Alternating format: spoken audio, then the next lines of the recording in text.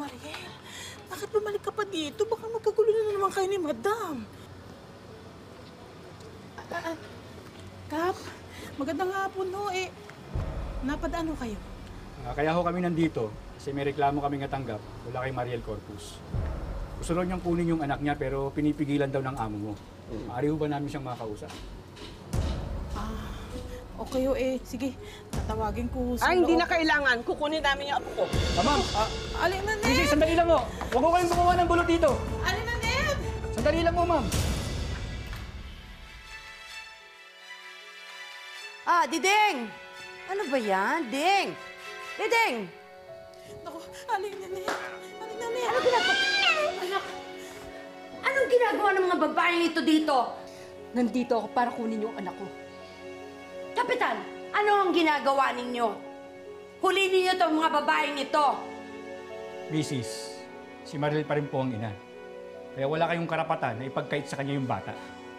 Nasa batas ho kasi, mas may karapatan ng ina sa mga batang kasing edad ni Justin. Wala akong pakialam. Hindi siya karapat-dapat na maging ina sa apo ko. Malandi ang babae yan, manloloko. Akin na yan, akin na. Oy, oy, oy, oy. Siya ang ina, hindi ikaw, ha? Hindi ka mapapatawad ni Eldon dito. Dinagdagan mo pa ang atraso mo sa kanya. Umanda ka, Mariel. Umanda ka.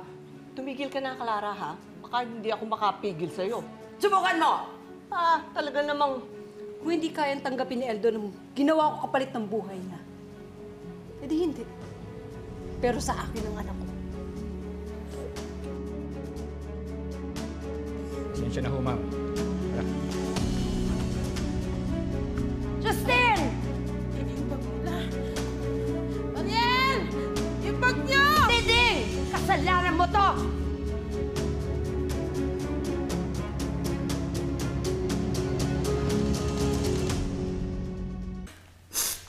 Kailangan ko mabawi nga po ko si Justin.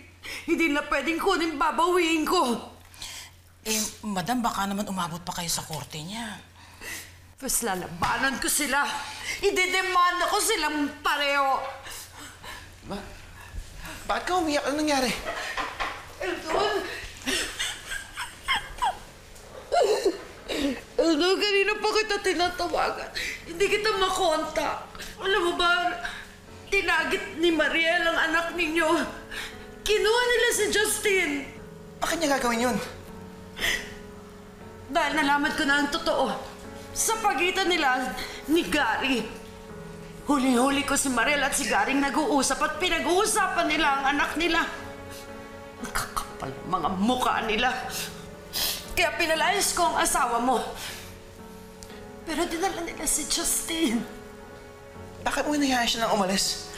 Eh, eh, Sir Eldon, kasi nagdala ng mga tanod si Aling Nanit.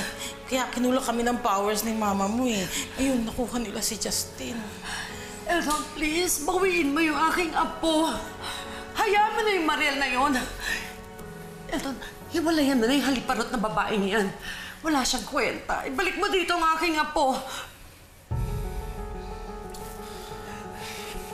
Roger, tara. Balik mo si Justin!